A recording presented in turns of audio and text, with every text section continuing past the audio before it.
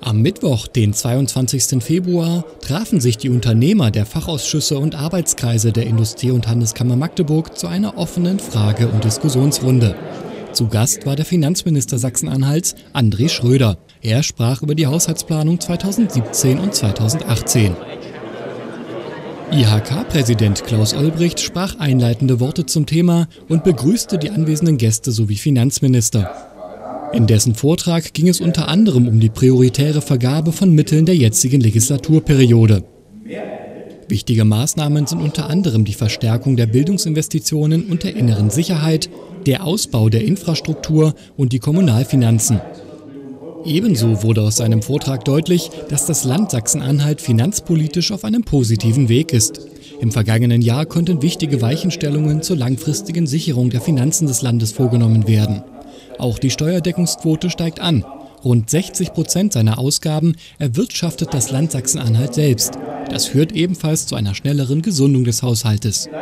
Auch der Altschuldenabbau wird erfolgreich fortgesetzt und zeigt einen positiven Trend. Diese Regierung hat sich vorgenommen, jedes Jahr 100 Millionen Euro Altschulden abzubauen. Durch eine Sondertilgung des Überschusses aus dem Jahr 2016 haben wir 16, 17, 18 einen Altschuldenabbau von 325 Millionen Euro. Meine sehr verehrten Damen und Herren, auch das gehört dazu. Keine Landesregierung in Sachsen-Anhalt hat jemals so viel Schulden abgebaut wie diese. Finanzminister André Schröder setzt alles daran, die Ziele und Möglichkeiten zu verwirklichen, damit Sachsen-Anhalt im Jahr 2020 auf finanzpolitisch eigenen Füßen steht. Hierfür hat das Land in den vergangenen Jahren gute Voraussetzungen geschaffen. Nach seinem Vortrag folgte die offene Frage- und Diskussionsrunde mit den Mitgliedern der Industrie- und Handelskammer. Die Unternehmer hatten die Möglichkeit, ihre Fragen persönlich an den Finanzminister zu stellen. Der IHK-Präsident stellte die gesammelten Fragen der ehrenamtlichen IHK-Ausschussmitglieder vor. Eine wichtige Angelegenheit ist die Unternehmensnachfolge und in diesem Zusammenhang insbesondere die Grunderwerbssteuer. Hier ist die IHK einer der ersten Anlaufpartner für Unternehmer ist beim Betriebsübergang von einem Gesellschafter auf einen neuen oder auf eine Gesellschafterfamilie Grunderwerbsteuer fällig. Die ist privat zu zahlen und sofort zu zahlen. Und das ist eine ganze Menge Geld in der Regel.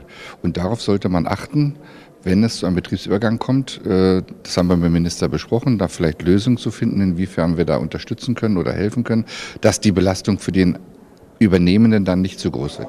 Themen in der offenen Diskussionsrunde waren unter anderem auch die Tarifbeschäftigten, der Fachkräftemangel, die IT-Ausnutzung mit Schwerpunkt auf die Förderung der Digitalisierung und der Plan B der Landesregierung bei der Haushaltsplanung.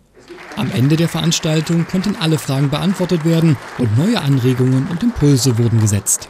Es war auch das erste Mal, dass er damit heute konfrontiert wurde.